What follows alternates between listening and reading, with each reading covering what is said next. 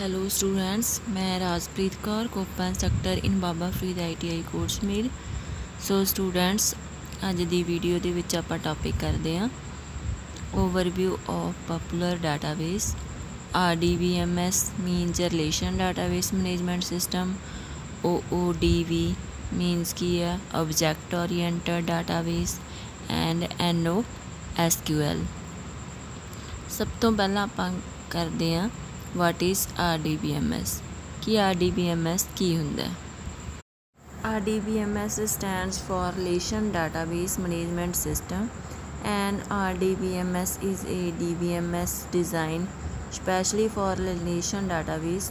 Therefore, RDBMS are a subset of DBMS.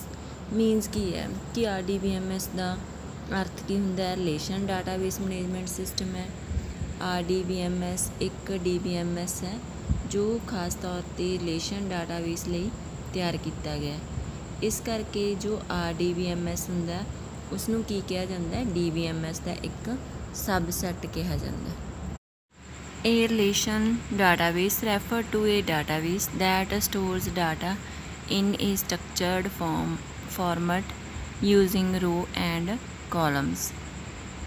Relation database ਕੀ ਹੈ? ਇੱਕ database ਨੂੰ refer ਕਰਦਾ ਹੈ, ਜੋ ਕਿ ਰੋ ਅਤੇ ਕਾਲਮ ਦੀ ਵਰਤੋਂ ਕਰਦਿਆਂ ਇੱਕ ਸਟਰਕਚਰ ਫਾਰਮੈਟ ਦੇ ਵਿੱਚ ਡਾਟਾ ਸਟੋਰ ਕਰਦਾ ਹੈ।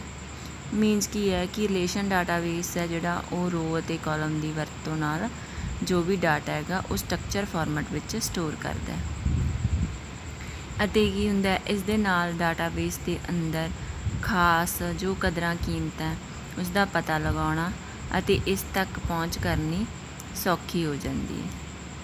ਇੱਕ ਰਿਲੇਸ਼ਨਲ ਹੈ, ਕਿਉਂਕਿ ਹਰੇਕ ਟੇਬਲ ਦੇ ਅੰਦਰ ਵੈਲਿਊ ਇੱਕ ਦੂਜੇ ਨਾਲ ਸੰਬੰਧਿਤ ਹੈ।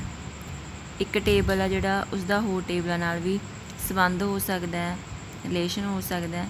ਰਿਲੇਸ਼ਨ ਸਟਰਕਚਰ ਇੱਕੋ ਸਮੇਂ ਇੱਕ ਟੇਬਲ ਵਿੱਚ ਕਿਊਰੀ ਰਨ ਕਰਨਾ ਸੰਭਵ ਬਣਾਉਂਦਾ ਹੈ। While a relational database describes the type of database and RDBMS manages the RDBMS refers to the database program itself.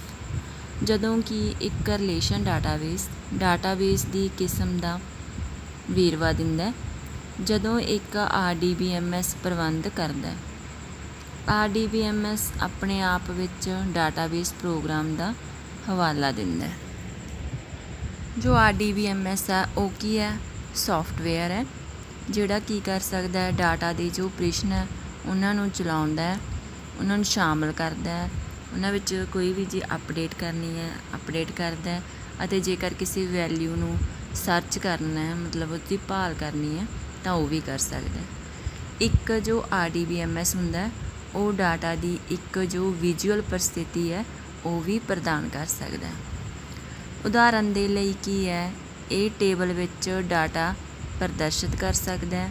ਜਿਵੇਂ ਕਿ ਇੱਕ ਸਪਰੈਡਸ਼ੀਟ ਤੁਹਾਨੂੰ ਸਾਰਣੀ ਵਿੱਚ ਵਿਅਕਤੀਗਤ ਵੈਲਿਊ ਵੇਖਣ ਅਤੇ ਸੰਪਾਦਿਤ ਕਰਨ ਦੀ ਆਗਿਆ ਦਿੰਦੀ ਹੈ। ਕੁਝ ਜੋ RDBMS ਪ੍ਰੋਗਰਾਮ ਹੈ, ਉਹ ਤੁਹਾਨੂੰ ਉਹ ਫਾਰਮ ਬਣਾਉਣ ਦੀ ਆਗਿਆ ਦਿੰਦੇ ਹੈ, ਜੋ ਡਾਟਾ ਨੂੰ ਦਾਖਲ ਕਰਨ, ਸੰਪਾਦਿਤ ਕਰਨ ਅਤੇ ਡਿਲੀਟ ਨੂੰ ਸੁਚਾਰੂ ਬਣਾ ਸਕਦੇ ਆ most well known DBMS applications fall into the RDBMS categories ਬਹੁਤੀਆਂ ਜਿਹੜੀਆਂ ਜਾਣੀਆਂ ਪਛਾਣੀਆਂ DBMS ਐਪਲੀਕੇਸ਼ਨਸ ਹੁੰਦੀਆਂ, ਉਹ ਕਿਸ ਵਿੱਚ ਆਉਂਦੀਆਂ? RDBMS ਵਿੱਚ ਆਉਂਦੀਆਂ। Examples include Oracle database MySQL Microsoft SQL server ਹੋ ਗਿਆ ਐਂਡ IBM DV2 ਇਹ ਕੀ ਹੈ ਉਸ ਦੀਆਂ ਉਦਾਹਰਨਾਂ some of these programs support non relation database but they are primary used for relation database management ਇਹਨਾਂ ਵਿੱਚੋਂ ਜਿਹੜੇ ਕੁਝ ਪ੍ਰੋਗਰਾਮ ਹੁੰਦੇ ਆ ਉਹ ਗੈਰ ਰਿਲੇਸ਼ਨ ਡਾਟਾਬੇਸ ਦਾ ਸਮਰਥਨ ਕਰਦੇ ਆ ਪਰ ਇਹ ਮੁੱਖ ਤੌਰ ਤੇ RDBMS ਲਈ ਵਰਤੇ ਜਾਂਦੇ ਆ ਚਾਹੇ ਇਹ ਨੌਨ ਰਿਲੇਸ਼ਨਲ ਡਾਟਾਬੇਸ ਦੇ ਨੂੰ ਸਮਰਥਨ ਕਰਦੇ ਆ, ਪਰ ਫਿਰ ਵੀ ਇਹ ਮੁੱਖ ਤੌਰ ਤੇ ਜਿਹੜਾ RDBMS ਉਸ ਵਿੱਚ ਵਰਤੇ ਜਾਂਦੇ ਆ। ਐਗਜ਼ਾਮਪਲ ਕੀ ਆ of non relation database the Apache HBase IBM Domino and Oracle NoSQL database ਇਸ ਕਿਸਮ ਦੇ ਜੋ ਡਾਟਾਬੇਸ ਹੈ, ਉਹ ਦੂਜੇ ਡੀਐਮਵੀਐਸ ਪ੍ਰੋਗਰਾਮਾਂ ਦੁਆਰਾ ਪ੍ਰਬੰਧਿਤ ਕੀਤੇ ਜਾਂਦੇ ਹੈ ਜੋ ਐਨਓਐਸਕਿਊਐਲ ਦਾ ਸਮਰਥਨ ਕਰਦੇ ਹੈ ਜਿਹੜੇ ਇਹ ਹੁੰਦੇ ਆ, ਇਹ ਕਿਸ ਵਿੱਚ ਨਹੀਂ ਆਉਂਦੇ? ਆਰਡੀਬੀਐਮਐਸ ਵਰਗ ਵਿੱਚ ਨਹੀਂ ਆਉਂਦੇ। ਨੈਕਸਟ ਆਪਾਂ ਗੱਲ ਕਰਦੇ ਆ OODB ਦੀ। OODB ਦੀ ਫੁੱਲ ਫਾਰਮ ਕੀ ਹੈ? ਆਬਜੈਕਟ ਓਰੀਐਂਟਡ ਡਾਟਾਬੇਸ ਹੈ। ਇਹ ਕੀ ਕਰਦਾ ਜੋ ਆਬਜੈਕਟ ਓਰੀਐਂਟਡ ਪੈਰਾਡਿਜ਼ਮ ਨਾਲ ਜੁੜੀਆਂ ਸਹੂਲਤਾਂ ਹੁੰਦੀਆਂ ਉਹ ਉਹਨਾਂ ਨੂੰ ਪ੍ਰਦਾਨ ਕਰਦਾ ਹੈ। ਇਹ ਸਾਨੂੰ ਕਲਾਸਾਂ ਬਣਾਉਣ ਆਬਜੈਕਟਸ ਦਾ ਪ੍ਰਬੰਧ ਕਰਨ, ਵਿਰਾਸਤ ਦੀ ਸ਼੍ਰੇਣੀ ਦਾ ਸਟਰਕਚਰ ਅਤੇ ਹੋਰ ਜੋ ਕਲਾਸਾਂ ਦੇ ਤਰੀਕਿਆਂ ਨੂੰ ਕਾਲ ਕਰਨ ਦੀ ਜੋ ਕਰਦਾ ਹੈ। ਇਹਨਾਂ ਤੋਂ ਬਿਨਾ ਹੋਰ ਕੀ ਕਰਦਾ ਹੈ ਇਹ? ਮਿਆਰੀ ਜੋ ਡਾਟਾਬੇਸ ਪ੍ਰਣਾਲੀ ਹੈ, ਉਹਨਾਂ ਨਾਲ ਜੁੜੀਆਂ ਜੋ ਸਹੂਲਤਾਂ ਉਹਨਾਂ ਨੂੰ ਵੀ ਪ੍ਰਦਾਨ ਕਰਦਾ ਹੈ। ਹਾਲਾਂਕਿ ਜੋ ਆਬਜੈਕਟ ਓਰੀਐਂਟਡ ਡਾਟਾਬੇਸ ਪ੍ਰਣਾਲੀਆਂ ਨੇ ਅਜੇ ਤੱਕ ਕੀ ਹੈ ਵਪਾਰਕ ਐਪਲੀਕੇਸ਼ਨਾਂ ਵਿੱਚ ਆਰਡੀਬੀਐਮਐਸ ਨੂੰ ਤਬਦੀਲ ਨਹੀਂ ਕੀਤਾ ਹੈ Put simply, object-oriented database are database that represent data in the form of object and class. ਸਿੱਧੇ ਸ਼ਬਦਾਂ ਵਿੱਚ ਅਸੀਂ ਕੀ ਕਹਿ ਸਕਦੇ ਹਾਂ ਕਿ ਜੋ ਆਬਜੈਕਟ ਓਰੀਐਂਟਡ ਡਾਟਾਬੇਸ ਹੁੰਦਾ ਹੈ ਇਹ ਉਹ ਡਾਟਾਬੇਸ ਹੁੰਦਾ ਹੈ ਜੋ ਵਸਤੂਆਂ ਅਤੇ ਕਲਾਸਾਂ ਦੇ ਰੂਪ ਵਿੱਚ ਡਾਟਾ ਨੂੰ ਦਰਸਾਉਂਦਾ ਹੈ।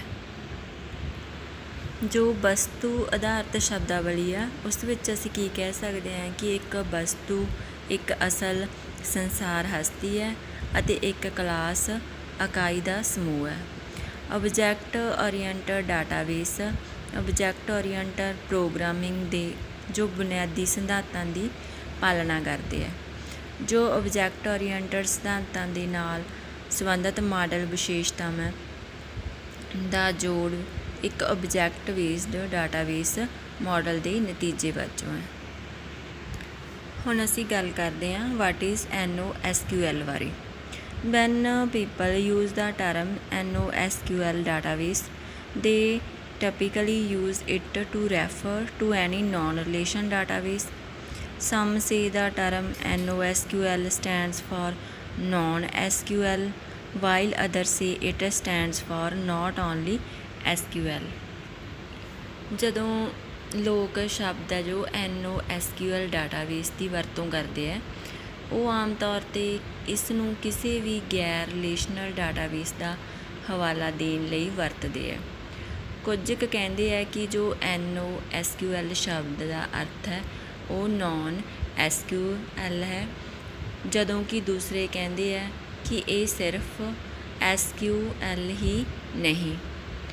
ਕਿਸੇ ਵੀ ਤਰ੍ਹਾਂ ਬਹੁਤ ਸਾਰੇ ਸਹਿਮਤ ਹਨ ਕਿ NoSQL ਡਾਟਾਬੇਸ ਡਾਟਾਬੇਸ ਹਨ ਜੋ ਰਿਲੇਸ਼ਨਲ ਟੇਬਲ ਤੋਂ ਇਲਾਵਾ ਕਿਸੇ ਹੋਰ ਫਾਰਮੈਟ ਵੀ ਵਿੱਚ ਵੀ ਡਾਟਾ ਸਟੋਰ ਕਰਦੇ ਆ। ਮਤਲਬ ਰਿਲੇਸ਼ਨਲ ਟੇਬਲ ਤੋਂ ਬਿਨਾ ਜੋ ਕਿਸੇ ਹੋਰ ਫਾਰਮੈਟ ਵਿੱਚ ਡਾਟਾ ਨੂੰ ਸਟੋਰ ਕਰਦੇ ਆ, ਉਹ ਕੀ ਹੈ? NoSQL ਹੈ। ਇਹ ਆਮ।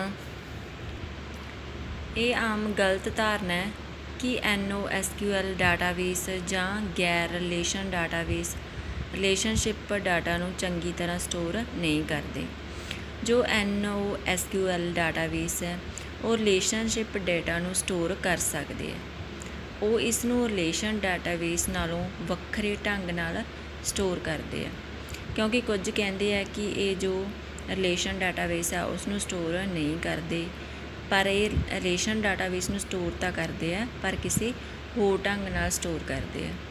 ਦਰਅਸਲ ਜਦੋਂ SQL ਡਾਟਾਬੇਸ ਨਾਲ ਤੁਲਨਾ ਕੀਤੀ ਜਾਂਦੀ ਹੈ, ਤਾਂ ਬਹੁਤ ਸਾਰੇ SQL ਡਾਟਾਬੇਸਾਂ ਨਾਲੋਂ ਨੌਨ SQL ਡਾਟਾਬੇਸ ਵਿੱਚ ਮਾਡਲਿੰਗ ਰਿਲੇਸ਼ਨਸ਼ਿਪ ਡੇਟਾ ਨੂੰ ਸੌਖਾ ਸਮਝਦੇ ਆ। ਕਿਉਂਕਿ ਸੰਬੰਧਿਤ ਡੇਟਾ ਨੂੰ ਟੇਬਲ ਵਿੱਚ ਵੰਡਣਾ ਨਹੀਂ ਪੈਂਦਾ। ਜੋ NoSQL ਡਾਟਾ ਮਾਡਲ ਸੰਬੰਧਿਤ ਡੇਟਾ ਹੈ, ਉਹਨੂੰ ਇੱਕ ਡੇਟਾ ਸਟਰਕਚਰ ਦੇ ਅੰਦਰ ਅੰਦਰ ਕਰਨ ਦੀ ਆਗਿਆ ਦਿੰਦੇ ਆ ਜੋ NoSQL ਡਾਟਾਬੇਸ ਸੀ, ਉਹ 2000 ਦੇ ਅਖੀਰ ਵਿੱਚ ਉੱਭਰ ਕੇ ਸਾਹਮਣੇ ਆਈ ਸੀ, ਜਦੋਂ ਸਟੋਰੇਜ ਦੀ ਕੀਮਤ ਨਾਟਕੀ ਢੰਗ ਨਾਲ ਘਟੀ ਹੈ। ਉਹ ਦਿਨ ਸਨ ਜਿਹੜੇ ਸਿਰਫ ਡੁਪਲੀਕੇਸ਼ਨ ਨੂੰ ਘਟਾਉਣ ਦੇ ਉਦੇਸ਼ਾਂ ਲਈ ਇੱਕ ਗੁੰਝਲਦਾਰ ਪ੍ਰਬੰਧਨ ਰਹਿਤ ਡੇਟਾ ਮਾਡਲ ਬਣਾਉਣ ਦੀ ਜ਼ਰੂਰਤ ਵਾਲੇ ਦਿਨ ਸਨ। ਡਿਵੈਲਪਰ ਸੌਫਟਵੇਅਰ ਦੀ ਵਿਕਾਸ ਦੀ ਜੋ ਮੁੱਢਲੀ ਕੀਮਤ ਹੈ, ਉਹ ਬਣ ਰਹੇ ਸਨ। ਇਸ ਲਈ NoSQL ਡਾਟਾਬੇਸ ਡਿਵੈਲਪਰ ਦੀ ਜੋ ਉਤਪਾਦਕਤਾ ਹੈ ਉਸ ਦੇ ਲਈ ਅਨੁਕੂਲਤ ਹੋਇਆ ਜਿਵੇਂ ਕਿ ਸਟੋਰੇਜ ਜੋ ਖਰਚੇ ਦੀ ਤੇਜ਼ੀ ਨਾਲ ਘਟੇ ਹੈ। ਸਟੋਰ ਕਰਨ ਅਤੇ ਜੋ ਪੁੱਛਗਿੱਛ ਲਈ ਲੋੜੀਂਦੇ ਡੇਟਾ ਐਪਲੀਕੇਸ਼ਨਾਂ ਦੀ ਜੋ ਮਾਤਰਾ ਹੈ, ਉਹ ਵੱਧ ਗਈ ਹੈ। ਇਹ ਡੇਟਾ ਸਾਰੇ ਆਕਾਰ ਅਤੇ ਆਕਾਰ ਵਿੱਚ ਆਇਆ ਸਟੈਂਡ ਜਿਵੇਂ ਕਿ ਹੋ ਗਿਆ ਸਟਰਕਚਰਡ ਹੋ ਗਿਆ ਸੈਮੀ ਸਟਰਕਚਰਡ ਅਤੇ ਪੋਲੀਫਾਰਮਤ ਯੋਜਨਾ ਨੂੰ ਪਹਿਲਾਂ ਤੋਂ ਹੀ ਪਰਿਭਾਸ਼ਿਤ ਕਰਨਾ ਅਸੰਭਵ ਹੋ ਗਿਆ। NoSQL ਡਾਟਾਬੇਸ ਡਿਵੈਲਪਰਾਂ ਨੂੰ ਭਾਰੀ ਮਾਤਰਾ ਵਿੱਚ ਗੈਰ ਸੰਗਠਿਤ ਡਾਟਾ ਸਟੋਰ ਕਰਨ ਦੀ ਆਗਿਆ ਦਿੰਦੇ ਆ, ਜਿਸ ਨਾਲ ਉਹਨਾਂ ਨੂੰ ਕਾਫੀ ਲਚਕ ਮਿਲਦੀ ਹੈ।